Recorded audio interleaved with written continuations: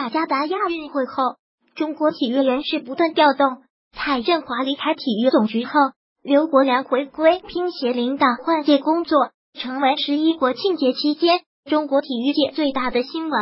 而根据国家体育总局网站最新内容显示，总局人事再次大调整，在体育总局掌门行列中，最值得关注的当属原局长助理杜兆才升任副局长、党组成员，而赵勇不再任国家体育总局党组成员、副局长。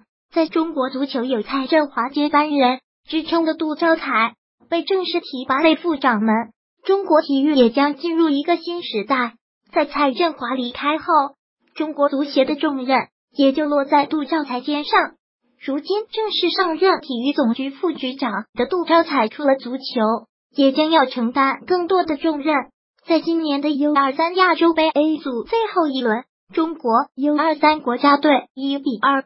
负于卡塔尔队被淘汰时，遭遇了悲情一幕。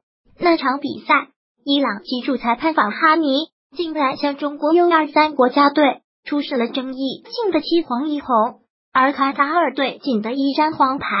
从过程来看，绝对有失公平公正。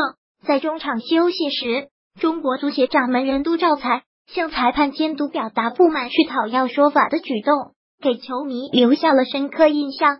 不过，为了提升国足战斗力，足协召集五十五名年轻国脚离开联赛去军训的做法，引发了不小的争议。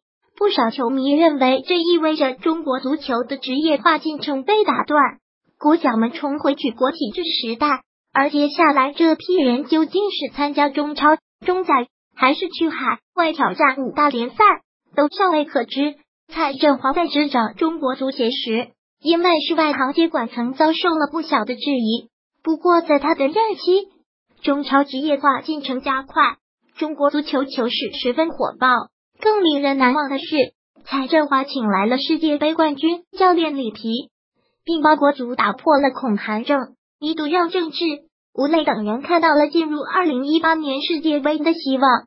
如今，蔡振华的名字已经逐渐淡出，中国体育界将进入一个新的时期。